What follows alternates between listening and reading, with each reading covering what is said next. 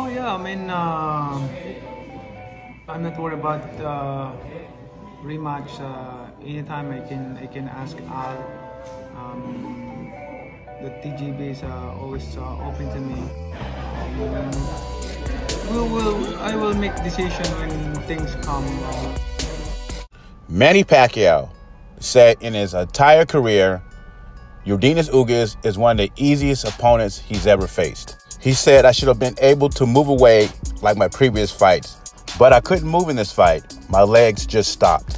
Pacquiao's immediate concern is to be president of the Philippines, which will begin in February. He's considering a rematch with Ugas in January, right before that starts.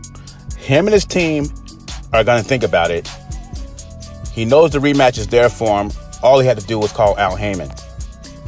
Sounds like Pacquiao is very stunned and he underestimated Yordenis Ugas. He said in his entire career, Ugas was the easiest opponent to prepare for, yet he lost. And he keeps bringing up he couldn't move his legs. I don't know if that's done from age or overtraining, but someone told me a long time ago there's no excuse. Once you get in that ring, you get in that ring. I mean, we saw Ugas had a torn bicep or something, and he still performed. Now I can understand if Manny Pacquiao wants a rematch because you know he wasn't at his best, and if he want if he wants to lose and guard like that, he wants to be at his best. I can understand that, but he also said Ugas was the easiest guy to prepare for, and it just seems to me that Pacquiao is having a hard time dealing with this loss than other losses. Maybe because Ugas is not an undefeated champion. You know, Pacquiao says he's motivated by beating undefeated champions like Spence and Crawford. I think he would have dealt with the loss better if it was Errol Spence.